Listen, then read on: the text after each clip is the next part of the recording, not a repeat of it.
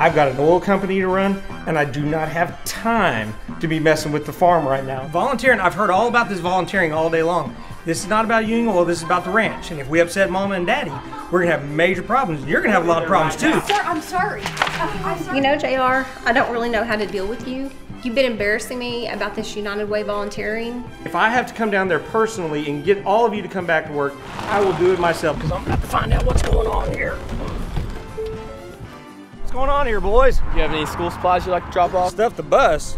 You see the size of my hat, the size of my truck. The only thing I'm stuffing in the back end is money. JR has just been so irrational.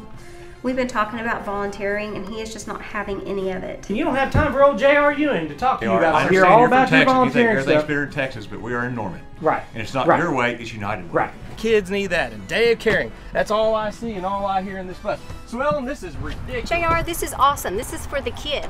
Hi, would you like to buy some Girl Scout cookies? I would love some Girl Scout cookies. Oh no no no no, Lucy, go on. I'll deal with you later. Uh, but I I'll deal with you later. I'll deal with you later. Y'all need to move on out. Just go on. Get now. Get. Get out here. Go. I am so sorry. Uncle JR, he's horrible. He's so harsh. Lucy, I'm so sorry. So sorry. For heaven's sake, JR, it is Girl Scouts. I am done with you. Done.